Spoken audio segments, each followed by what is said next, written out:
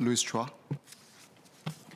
Chairman, in November last year, I asked the Minister for National Development if the funds obtained by HDB to issue housing loans are derived from the CPF and whether the government can consider to unpeg the HDB concessionary interest rate for housing loans from the prevailing CPF ordinary account interest rate, and if not, why not?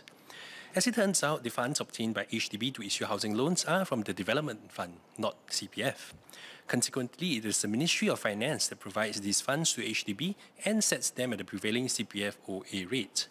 I understand the rationale for the HDB to impose a spread of 0.1% above the OA rate to recover HDB's cost of administering loans. But the bigger issue is rather than being dogmatic about pegging the HDB concessionary interest rate at 0.1% above the prevailing CPF OA interest rate, can the MOF and in turn the HDB and MND not make a call to segregate the two distinct roles of the OA savings rate and the HDB loan rate?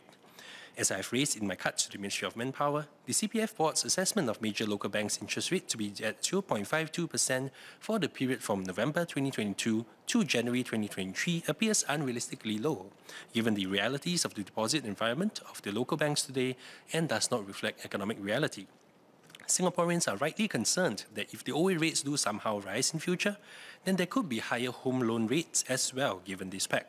However, given the MND has made abundantly clear that the funds obtained by HDB to issue housing loans are from the Development Fund, not the CPF, can we not let the concerns around the home loan peg hold us back from the correct decision of providing for both mortgage stability and certainty and also retirement adequacy for Singaporeans?